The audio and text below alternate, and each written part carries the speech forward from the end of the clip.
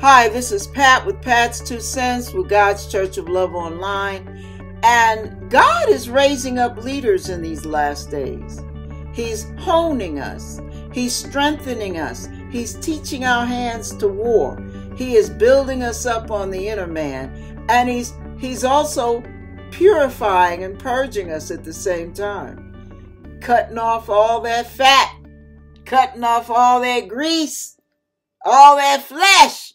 Yay, cutting it away, y'all. Chiseling for days till we become that beautiful vessel. Earthen vessel, no doubt, but beautiful. He's beautifying us day by day. There's an old song that says, He took me and made something beautiful out of my life. He took a wretch, a wretch like me, and showed me His love and concern. And by His grace, He made my life a new and better one. I owe Him my all. I cannot let Him down because He's the one who made something beautiful out of my life. Amen. We are reading 1 Timothy chapter 1, starting at verse 8. But we know that the law is good if a man uses it lawfully, knowing this, that the law is not made for a righteous man. So listen to this, y'all. I got to in, interject Pat's two cents here and there. You know how I do. When we're talking about a righteous man, we're not talking about perfect people. We're talking about the people of God in Christ Jesus.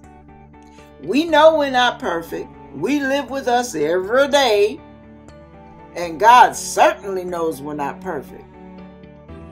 But our righteousness is there because we have clothed ourselves in Christ.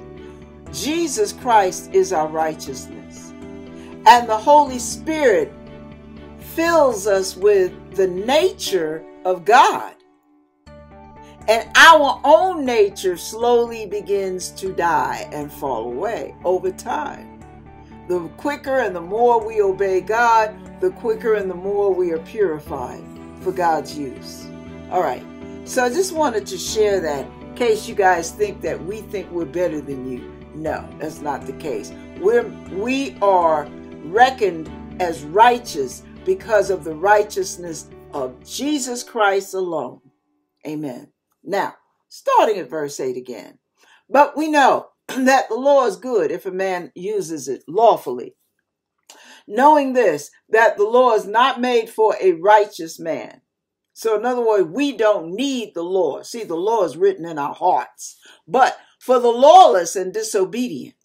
So, that's who the law is for the lawless and the disobedient, for the ungodly and for sinners, for unholy and profane.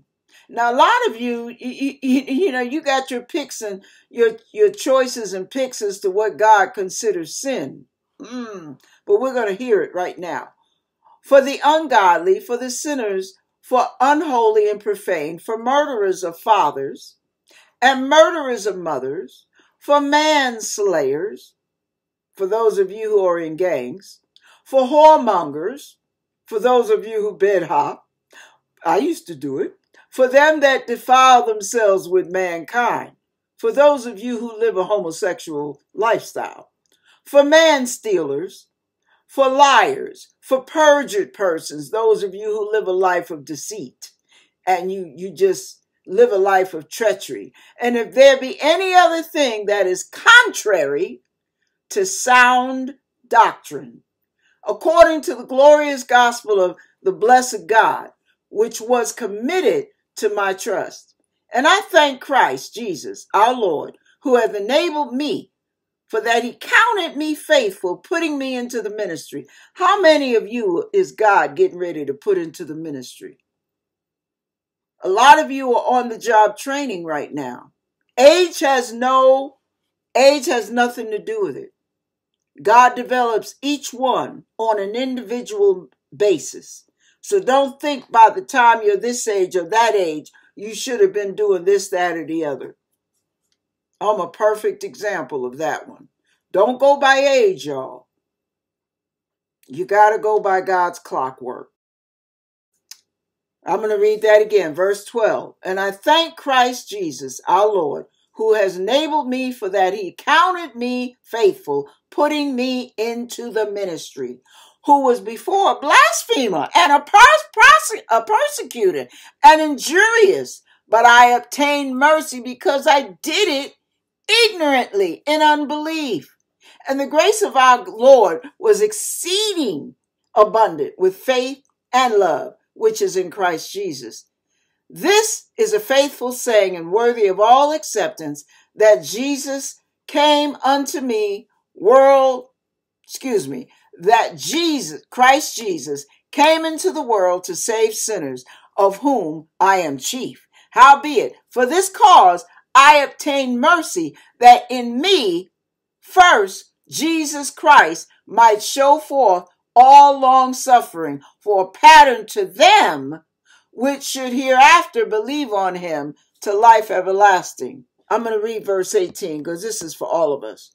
This charge I commit unto thee, son Timothy, according to the prophecies which went before on thee, that, that thou by them mightest war a good warfare, holding faith and a good conscience, which some have put away concerning faith have made shipwreck. You know, we don't realize all that God has put in our arsenal when He calls us to the ministry. Now, when I say call you to the ministry, I'm not talking that everybody who's called to the ministry is preaching in a pulpit. Not everybody called to the ministry is preaching. Hmm. Some of you you think that being called to the ministry means that you have to mount a pulpit with the Bible and you're preaching a sermon. Ministry means service. Whatever God has called you to do. I remember when I was ordained back in 2000, uh, back in 2020, I mean 2001. I remember Pastor Paul Binion. He told me uh, during the interview for the ordination.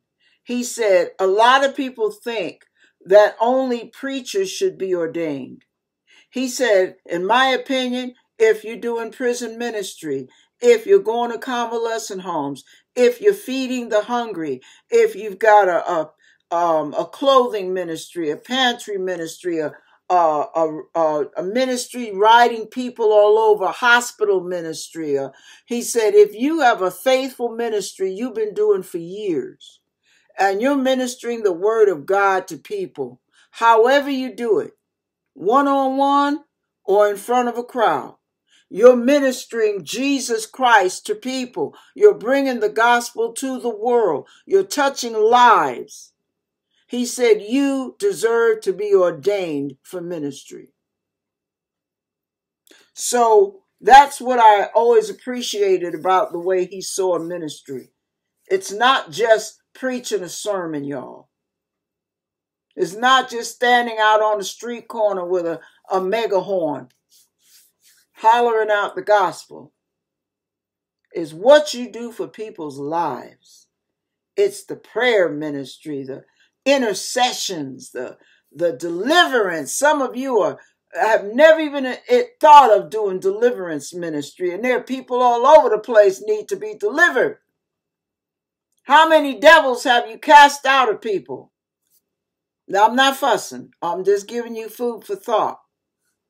When you're ministry minded, anything can be ministry. I am telling you. All right. So, what I want to share with you is sometimes you have to open up your mind. Now, the other scripture I got was dealing with what a bishop should be like, and I'm going to go to it now. I almost forgot to mark that page, but it's only three chapters ahead. So let's go to, let me make sure I'm right there. Okay, yes. First Timothy chapter 3. I'm not going to go all into it. But I just want to share this. I'm laying the groundwork for the message. This is a true saying. If a man desire the office of a bishop, he desireth a good a good work. Father, I ask you to help me with this message. I ask you, Lord, in the name of Jesus, to help me touch on the things you want touched on. Help me highlight what you want me to highlight and do it your way. In the name of Jesus, I pray. Thank you for your anointing. Verse 2 A bishop then must be blameless, the husband of one wife, vigilant, sober, of good behavior, vigilant, sober, of good behavior. Good behavior, given to hospitality, apt to teach. So you're not only ready to teach, you're apt to. So you, you need to be not only able to teach, but teachable. Always remember if God uses you in a teaching ministry, you must always be in a learning position, a learning posture. Always. Never think you have the last word on the word. Never think you have the last word on the gospel. You have the last word on doctrine. You have the last word on theology. Never think that of yourself. Because once you think you have arrived, baby, you have just shut down shop you have eliminated yourself from God teaching you. Never think that you're not able to be taught, even from a five year old. If you think that a five year old child can't tell you something you don't know, you're in a bad way. Step aside, baby. Sit back down. You're not ready.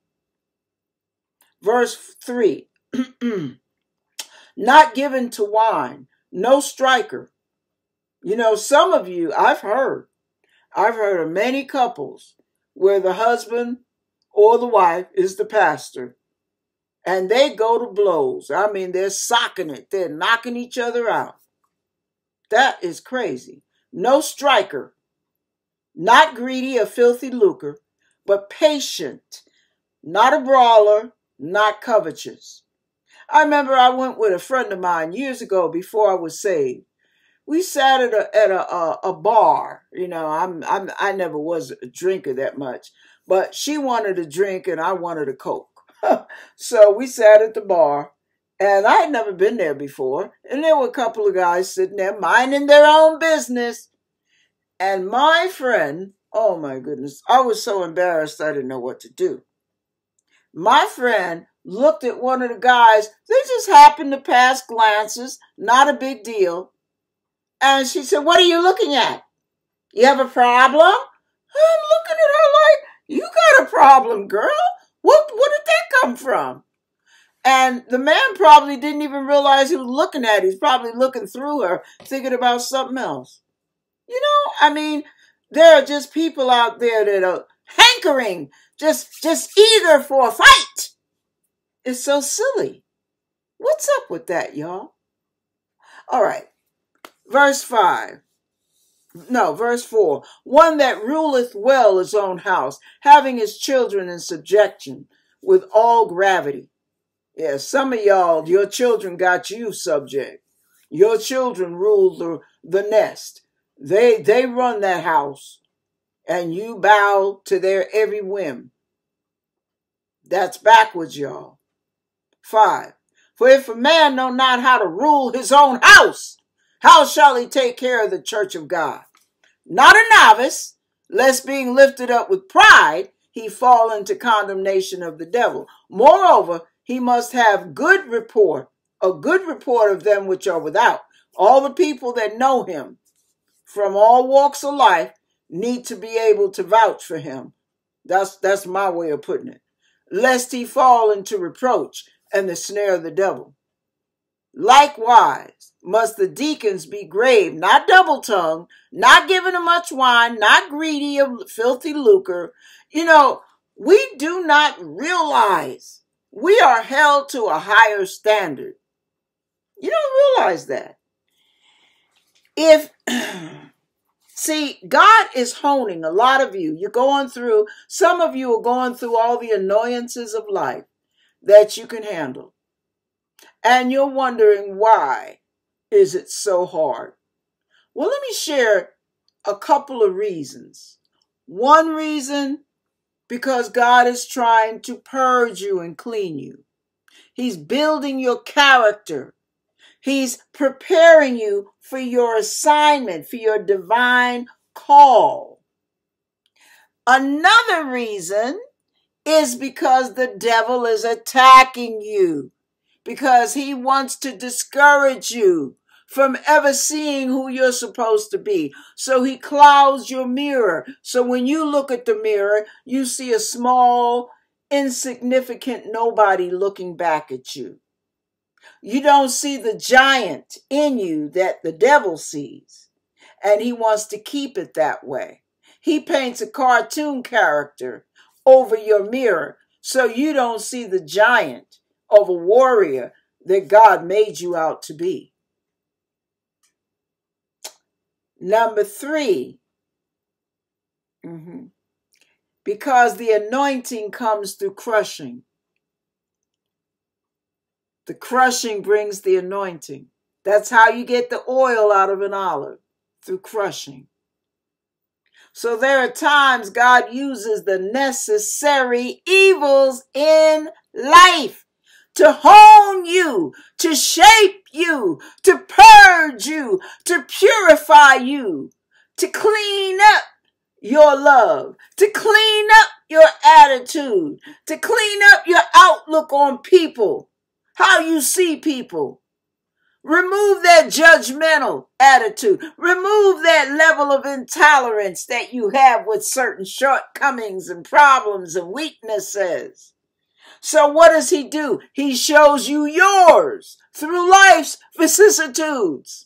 Why? Because he doesn't want you thinking more highly of yourself than you ought. It's not to humiliate you, it's to keep you humble.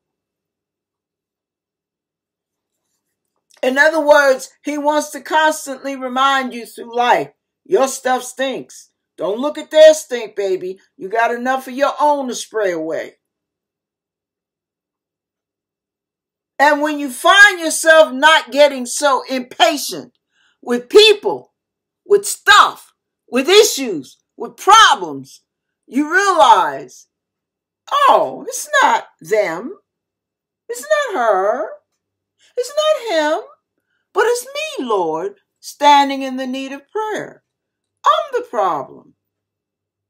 Because once this problem gets solved, that is no longer even seen as a problem. It's just seen as a simple hurdle that needs to be overcome. Not a big deal.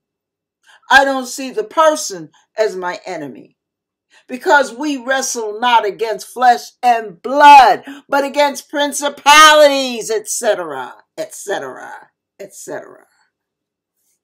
So you will find that as you go through life and as you deal with the challenges and you deal with the stresses and you deal with the frustrations and you deal with the setbacks, the delays, the losses, the failures,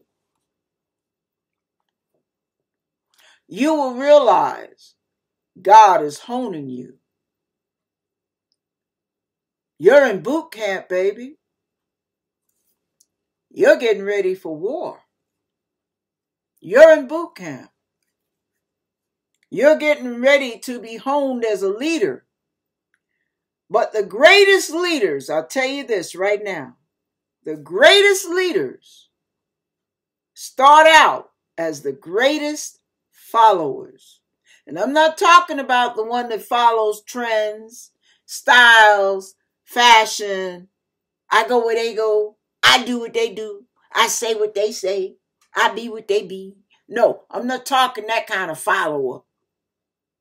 No, you set your own trench, baby. You set your own trends. You you you you pave your own road. You don't let somebody else dictate to you what you're supposed to do, how you're supposed to do it, and how you're supposed to look while you're doing it, because that's what everybody does. No, that's not the kind of follower I'm talking about.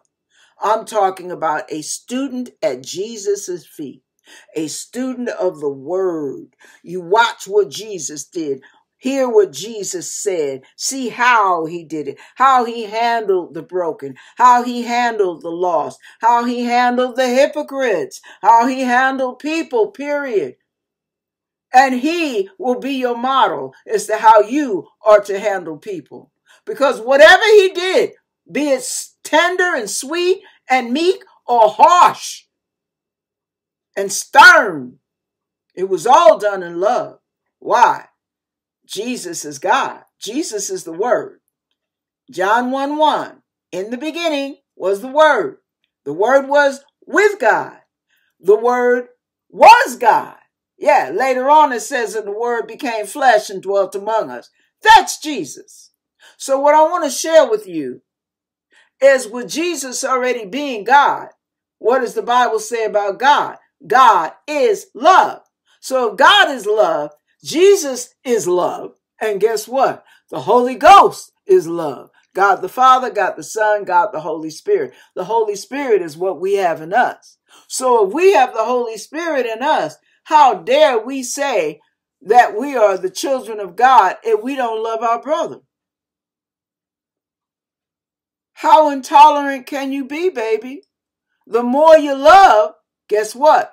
The more tolerance you have. So there's a song. I'm going to recite a portion of it to you. Show me how to love in the true meaning of the word. Teach me to sacrifice, expecting nothing, nothing, nothing. I'm emphasizing the nothing in return.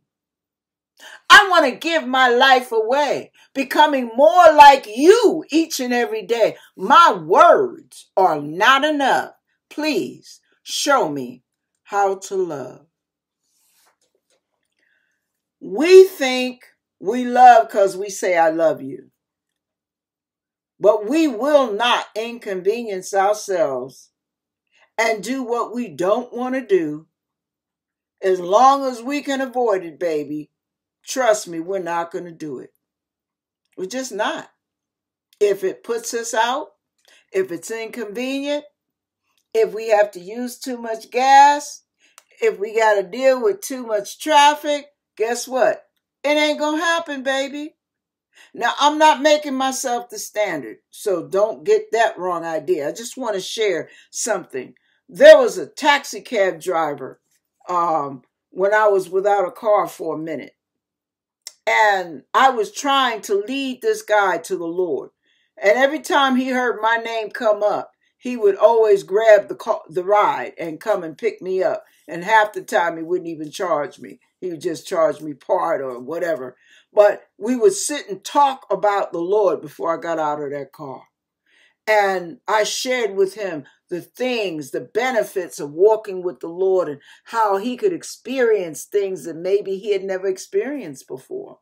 Maybe he had been longing for, thinking there was no hope. And I was trying to build up his faith and trusting God to accept Jesus, right? So I wasn't preaching at him. I was just conversing with him. Sometimes y'all choke, y'all make people gag, you shove the word at them so hard. But anyway, so I was sharing with him. Well, after a while, he got sick and he gave me a call and he asked me if I could. He said, uh, one of my buddies, if you can, I'm going to send one of the taxi drivers to pick you up because I need to go to the veterans. And uh, I, I can't drive. My leg is killing me. So the taxi cab driver took me down to his house and I got in his cab and, and we helped him down the stairs and put him in the passenger seat. And I drove him out to the Veterans Hospital. Now, check it out. A year or two later, the Lord had already let me know. I knew the man was going to be dead by the end of April, the beginning of March. I knew it because he had planned to reach out to the children in the neighborhood. He was going to turn his cab over for a van and take the kids out on boat rides to take them fishing. That's ministry. But his life wasn't going to last that long, and I knew it. As soon as he said it, I knew he wasn't going to be there past March. I just knew it. It was a knowing. So one day I get uh, this guy is beeping his horn, beep, beep, beep, beep, beep. Now I look out the window and it's one of his taxi cab friends. And he said, Pat, Jay Jay is in the uh, hospital. You need to go see him. He's in bad shape. He had open heart surgery, and they don't think he's gonna make it. So check this out. I'm, I'm saying this to show you how practical ministry is. You got to be ministry minded because if you're not, you will never inconvenience yourself, y'all. I don't like driving at night on the freeway in the rain. I don't. I hate it. I'm a good driver. I'm not a scary driver. I'm not a nervous driver at all. But I don't like driving in the rain at night on the freeway. There's some nuts out there. And when the rain is pouring, it, the visibility is horrible. Okay. Be that as it may, he's all the way out at the Veterans Hospital. And when I'm finally able to go, it is pouring down rain. And I got to drive out there by myself. I wasn't married to Milton. Milton and I weren't even dating.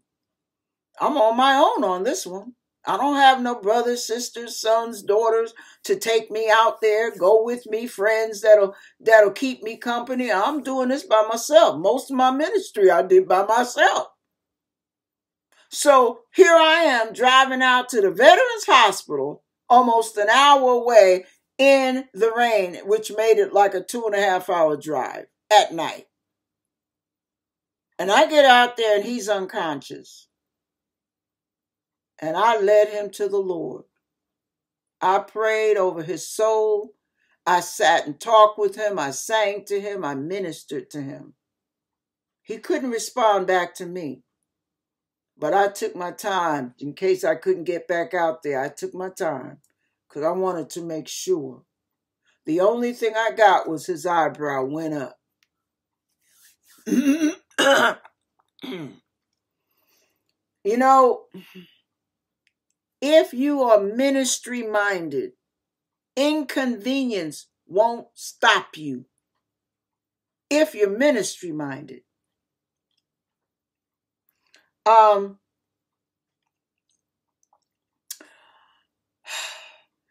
I remember about, I guess it was about eight months ago.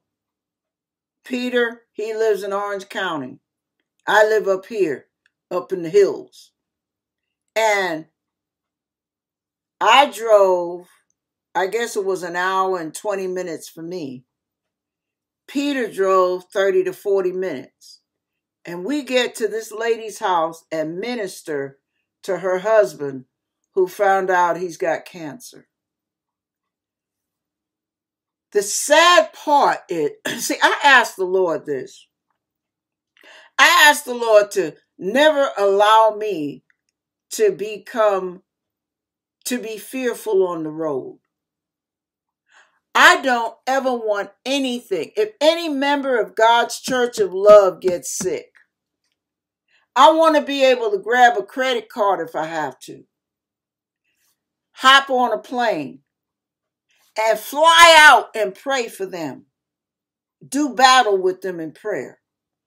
I might have to sleep on the floor, but I want to do ministry. I don't want my life to be about me, my four, and no more.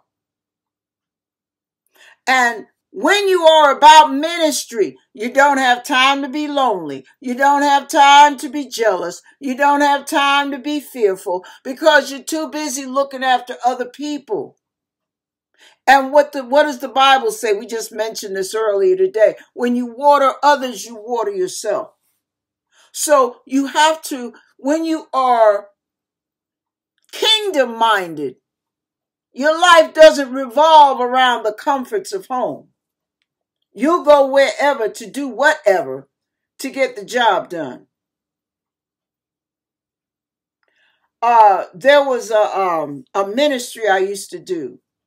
I think I did this ministry for about seven or eight years. And in the morning, I would drive out by myself, hour and a half drive, hour and 15 minutes, depending on traffic. I would drive out to, Ven- to Camarillo, Ventura Youth Correctional Facility, preach for two sermons, have lunch with them and their nasty food, and then sit in the chaplain's office and counsel with them all afternoon. Do you know how full my life is? It's not full because I have money. It's not full because I get to go on vacations with my family. I ain't got no family to go with. I'm by myself. The more you pour yourself into other people, the more you pour yourself into other people's needs, you minister the word to their pain. You minister the word to their confusion. You bring light into their darkness. You don't have time to be caught up in me, myself, and I. What about me? What about me? What about me? You don't have time for that. You don't have time for petty arguments, petty differences, petty problems. You don't have time. You're too busy trying to see how you can be a blessing. Now, let me share this as well. As God is honing you for leadership, don't overdo it because you have this treasure in an earthen vessel. It's not only flawed, it can also be fragile. So, what you have to do is you have to remember that that vessel you live in, that you're made of, happens to be the temple of God, which means you are the temple of God. And if you are the temple of God, the Holy Spirit abiding in you, that means you have to take care of your temple, y'all. You have to take care of it. You have to do everything you can to keep it healthy. You can't eat yourself into oblivion. You hear me? You can't work yourself to the to the grindstone. You can't burn the candle at both ends. You're not going to win God's love by running over here and running over there and doing this and doing that. That's overdoing it. God's going to love you whether you serve him or not, whether you're saved or not. He loves you. You have his favor when you serve him, when you live for him, when you're in him. You got his favor, baby. But don't think you're going to win more love by doing more service. That, that it's not a it's not a merit walk. You don't get merits and demerits. No. You're in or you're out. You have to accept his love. See, what he gives you is unmerited favor, unmerited grace. It's unmerited, it's undeserved. So that you can't do enough to deserve what he's got. You can't do enough to pay him back for what he did for you. Just be yourself. When you need rest, get the rest. When you need some play, get some play. Enjoy your play. Serve Him at a balance. Work at a balance. Eat at a balance. Go out at a balance. Make sure your life is balanced. Don't be so spiritually minded you're no earthly good. And don't be so worldly minded you ain't no spiritual good. No, don't do either one. Get a balance about yourself. Everything according to the Bible done in moderation. All right. So, in other words, don't overdo it. You have to take care of yourself emotionally, physically, psychologically, spiritually. You have to take care of yourself. Not be self centered, not be self absorbed. The world must make me happy or I'm not happy. And if I'm not happy, nobody's happy. No, it ain't that kind of ball game either. So when you are trying to serve God and you're in preparation, get deep into the word. This is the time to get deep into the word. We're in the last days now. So you get deep in that word. You Compare yourself to the word, compare the word to you. Ask God on a daily basis. Show me what needs to be adjusted in me. Show me what you don't like about my character. Show me myself. Help me see me, the real me. But help me not get discouraged by what I see. Help it I want what I see to help me know how to pray so that I can get cleaned up as quickly and healed as quickly as possible. Because some of what's flawed in you is from old baggage, baby, from years ago. Some of that old stuff that happened when you were a little kid stops you from seeing yourself any higher than this or that. I would love to be able for Pat and for Peter and Lynn to believe, for Matt, for Davina, for Andrea. I would love for Mariel. I would love for for uh, Shannon. I would love for Jeanette. I would love you guys to know that any one of you at any given moment, if God says, I want you to run for president, I want you to be able to say, you know what? If God's got my back, it ain't about me. This is on his qualifications because I know I ain't qualified. That you would fearlessly step forward. Now, your own nature, I mean, your own knowing yourself might make you, you know, have to go before God and you got to hear from Him 10, 20, 50 times. But once you're convinced, baby, you got to know that you know that you know and walk in it. Not think, oh, oh that, that that's cute. That, that that's that's funny. Oh, that's so nice to say that that's that's cute. No, no, no, no, babe. If God says it, that's all it takes. You don't even have to believe it. If God says it, that settles it. He doesn't need you to believe it for it to settle it. If God says it, that's it. So don't think of yourself beneath a certain level. And definitely don't think of yourself more highly than you ought. Just be balanced. Take yourself a step at a time, a day at a time, a morsel at a time. God will show you yourself. He will introduce you to your maker, to your strengths, to your weaknesses, to your giftings, to your abilities. He will be, he will begin to show you that. You'll understand what you should keep, keep hands off. One thing I know, I am not an administrator. Mm-mm. I'm a visionary, but not an administrator. Someone else is probably going to carry it out better than I will because I'm so creative and artistic. I'm one of those disorganized folks. And organized people are excellent at getting things done, like my husband. Very methodical, very strategic. He was a great balance for me. And I didn't bug him and he didn't bug me. We just appreciated the difference and benefited from it. So know that when God is building you up for leadership, one of the things you're going to have to deal with is people and their issues. I don't know why I'm on this, but but but I don't know if you're seeking God for your calling or what. I don't know who you are or where you are, how many of you there are. But the bottom line is, because I'm talking not only to God's church of love, I'm talking to you too. I'm talking to the body of Christ.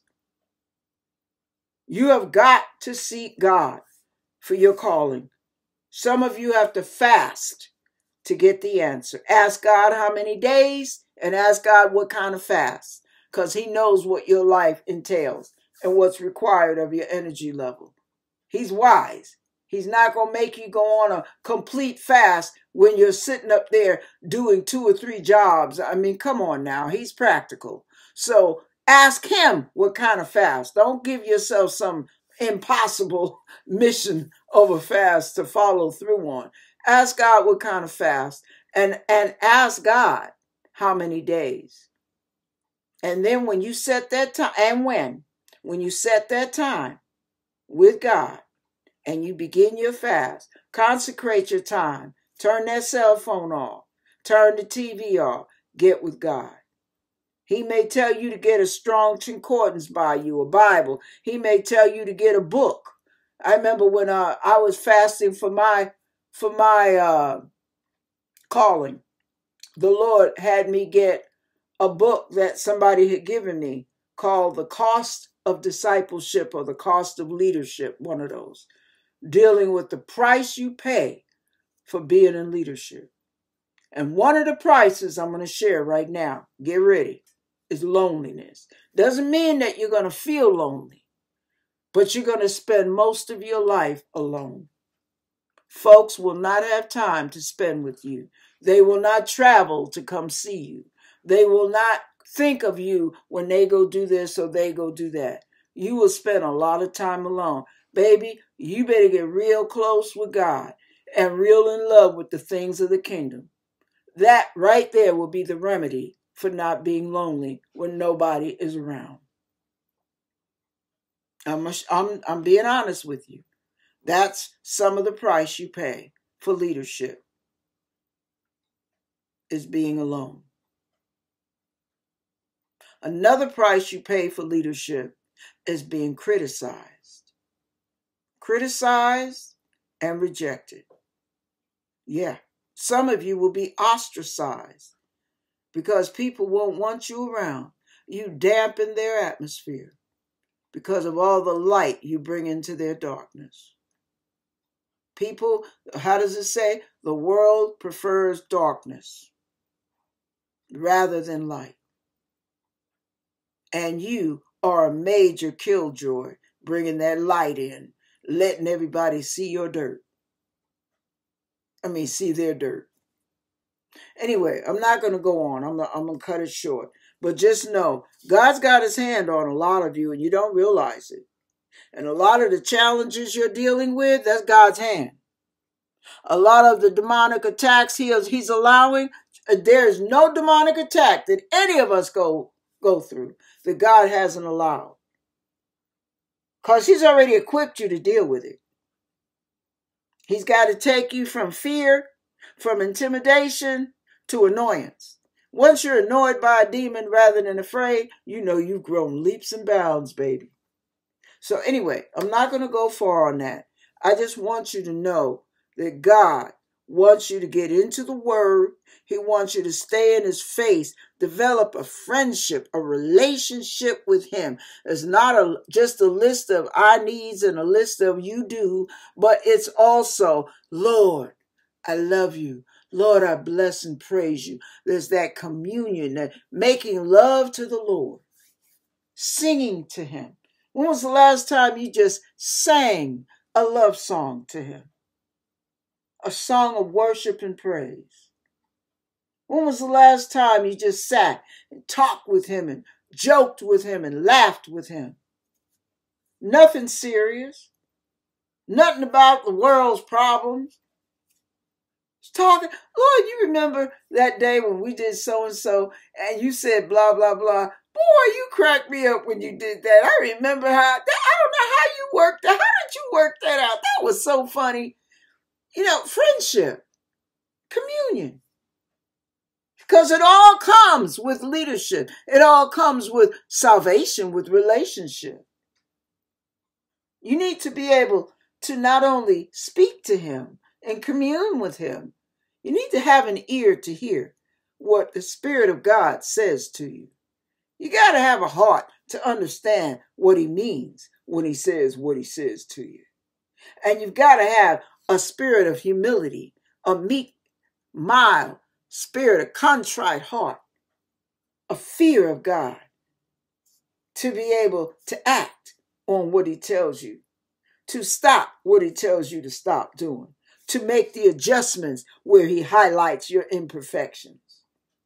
You have to be ready, act. You have to be act and teachable, obedient, pliable, flexible, don't be stuck on your ways. It's the way I always do it. I can't do it that way. It's just, no, no, you can do all things through Christ. God may stretch you beyond what you don't like. You don't like doing that because that's not comfortable for you. God will stretch you, baby. Stretch. Stretch with him. Don't fight him. It's, it's so much easier when you cooperate with the tr- with the journey than when you battle with it. All right. I'm done. I just want to let you know God's got his hands on many of you. And some of you don't realize it because you're looking at the problem rather than looking at the solver of the problem. Wondering, what am I to learn out of this, Lord? How am I to grow? What are you trying to develop in me? Show me how to love. Show me how to see people out of your eyes, not mine. Show me how to perceive life and life's vicissitudes through your eyes, not mine. Help me to remember how much you're in control. That you're in control of everything, even the, the what's in the light, what's in the dark. You're control in control of everything. And I am not to fear. I'm not to be afraid because I have a risen Savior on my side. Be encouraged. Know that whatever's going on, whatever you're dealing with, whoever you're dealing with, wherever you're dealing with it, however you're dealing with it, God is the one in control. And you constantly must ask God, what am I to learn from this challenge, from that challenge, from the other challenge? What am I to learn? Open my eyes so I can see more and more of you and less of me. By loving the unlovable, the unlovable, and touching the untouchable, let my actions speak louder than my words. Show me how to love in the true meaning of the word. God bless you on your journey to leadership and service.